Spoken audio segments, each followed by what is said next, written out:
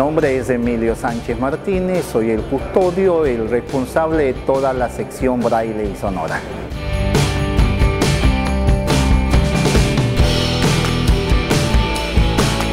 Es nuestro deseo fundamentalmente tratar de, a través del medio de ustedes, poder llegar a todas aquellas personas que desconocen del servicio en sistema braille digital que presta la Biblioteca Municipal de Guayaquil.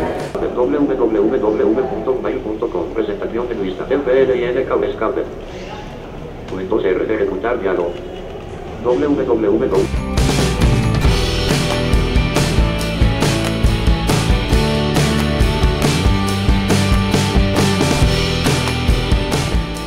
Creo que la comunidad debe ayudarnos a tratar de difundir esta obra eh, que en cierta forma da una independencia total en el aspecto educativo a las personas con alguna discapacidad como la visual.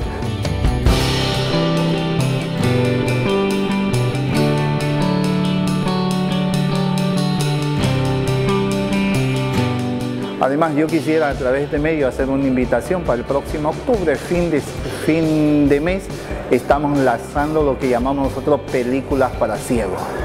Es unas películas audiodescriptivas en donde están invitados todas aquellas personas que ven, pueden este, venir porque se les va a poner una especie como de gafas para que estén al mismo nivel que las personas que no ven y puedan apreciar este tipo de películas.